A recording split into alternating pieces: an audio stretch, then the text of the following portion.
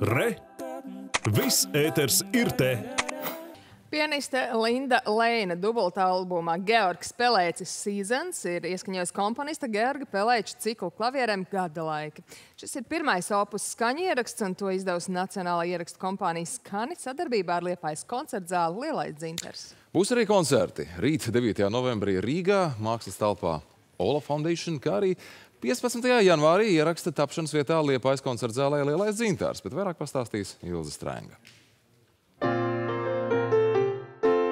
Varbūt es pamēģinu šeit. Varbūt drusku dziedošāk, es nezinu. Komponista Georga Pelēča mūzikai piemīt neatkārtojamība, kas šķietam vienkāršā skaņa rakstā meklē harmoniju un dziļāku jēgu. Un ja vēl darbu klausītājiem atklāja no jauna, rodas paliekoša vērtība. Tā tapa arī apjomīgā sešdaļīgā cikla gada laika ieraksts.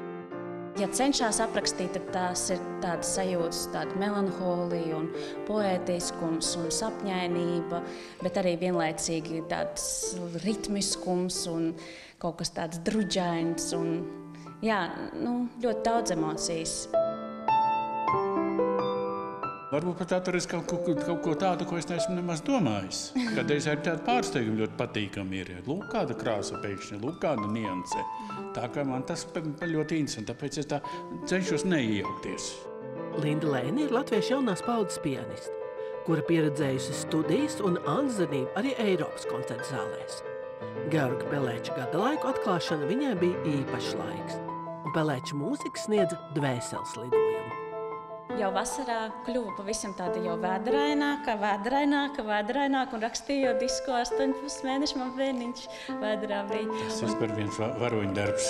Tāda situācija Linda tomēr spēja un varēja paveikt tik, tik kolosāli grūtu darbu, un tas ir gan varoņdarbs. Bet es uzskatu, ka uh, tas vienkārši ir tāds piebilde, ka es uzskatu, ka tas ir labākais, kas varēja notikt manam bērniņam vēdā, klausīties tik daudz tādu skaistu, gaišu mūziku. Koncertos tiks atskaņotas dažādas daļas no gada laika cikla - pavasara, rudens un jaungada mūzika. Jau 9. novembra vakarā sveču gaismā koncerts skanēs Mākslas telpā Ola Foundation. Meklējām tās krāsas ar Artūru. Man liekas, ka tā Ļoti sanāca, saulaini, eh, ļoti saulaini tas. Ļoti gaišs. Man, man gribējās, lai būtu kaut kas tāds mierīgs, gaišs, lai viņam paņem rokās un kaut kas tāds, ko gribas paņemt līdzi. runājām. Tādi laiki diezgan interesanti pienākuši, kad tas, tas vienkāršākais ir tas grūtākais arī. Dubultā albums Georgs Pelēcis Seasons no 11. novembra būs pieejams digitāli lielākajās mūzikas straumēšanas platformās. Georga Pelēča gada laikus klausītāji varēs albumā baudīt 80 pasaules valstīs. Albumu izdevusi Nacionālā skaņierakstu kompānijas Skani. Ilza Strenga, Andris Priedītis, Latvijas televīzija.